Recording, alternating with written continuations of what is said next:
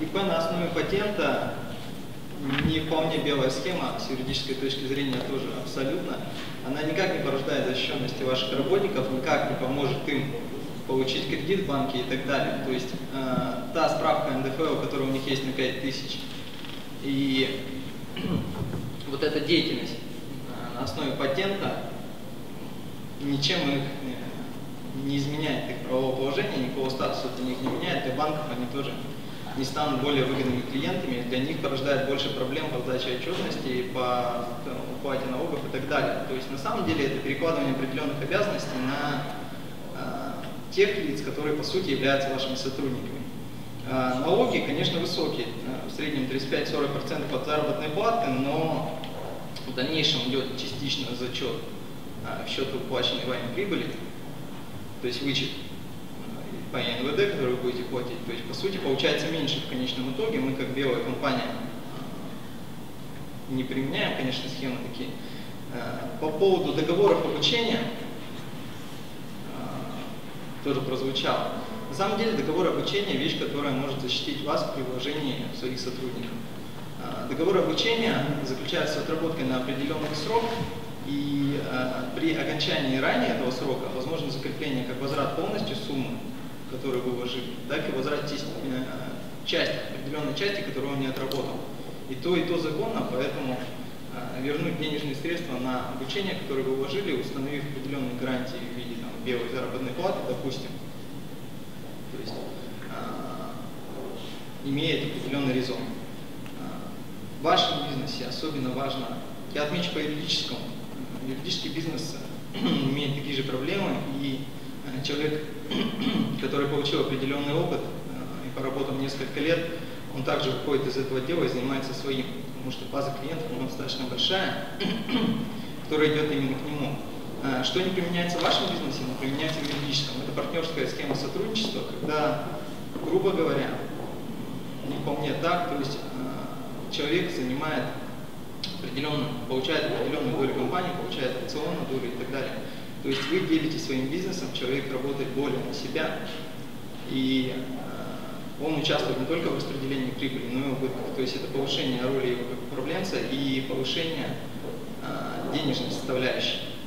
На самом деле по деньгам не обязательно растет так высоко, но в роли управленца, конечно, статус повышается.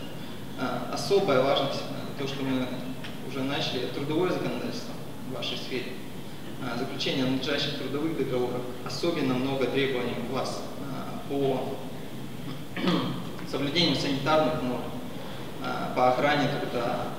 То есть трудовое законодательство, охрана труда на вас лежит в большей степени, чем на ком бы. По парикмахерской можете записать все требования, на самом деле, изложены очень четко, санпин новый, 2.1.2.26.13. Все требования для парикмахерских можете посмотреть.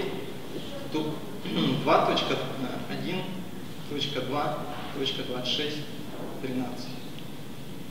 Все требования изложены достаточно четко, вплоть до э, того, какой должен быть размер торгового зала, э, какие должны применяться одноразовые принадлежности и так далее. Э, на всех работников должны быть оформлены личные медицинские книжки.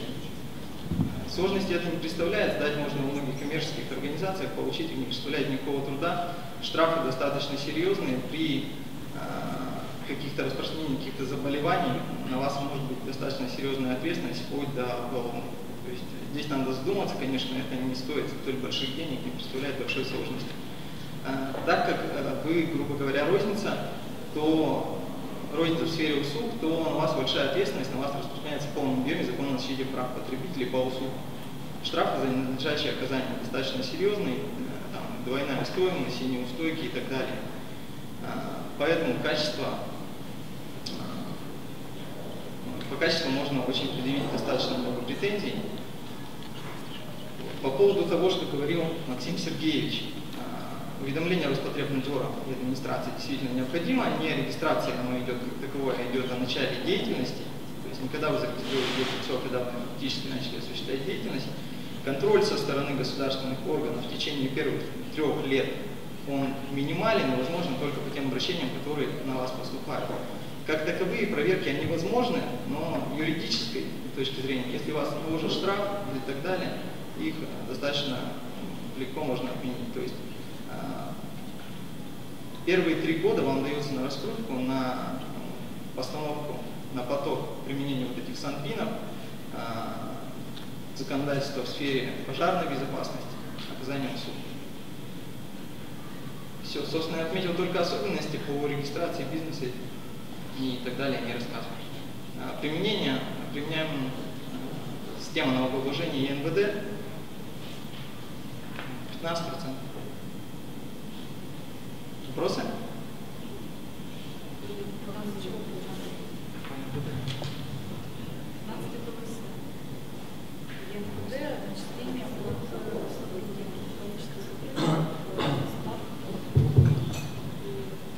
Вопрос? Есть вопросы?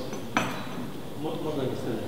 Да-да-да. Я хочу сказать по поводу э, кредитования ИП с патентом проблем нет. У меня сотрудники все получают кредиты, это раз.